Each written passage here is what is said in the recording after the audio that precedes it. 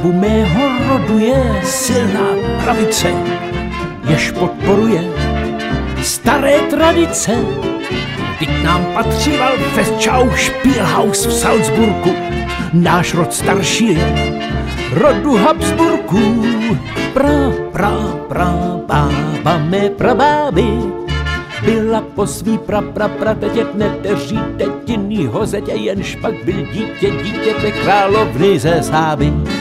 A pra, pra, pradět mýho praděda Proslavil se pro všechny časy tím, že skryl do rodiny kasy skalp se třemi zlatými vlasy děda vše věda. Žádný z mých předků v rakvi neleží, do jednoho všichni strašej věži a jen praujce mé pratety svak. Výjimku ze všech předků tvoří, utopil se někde na moři, v půlnoci se z moře vynoří, šplouchá na maják.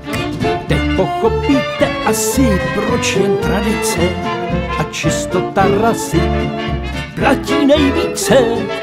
Uznáte, že člověkem smí být označen vždycky jenom ten, kdo má rodokmen.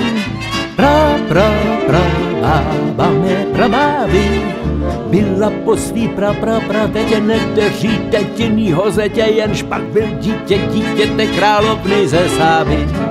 Pra, pra, praděd mého praděda proslavil se pro všechny časy tím, že skryl do rodiny kasy skalp a flašku praděda. Dnešní generace má víc důmyslů, nestraší ve věži, straší v průmyslu.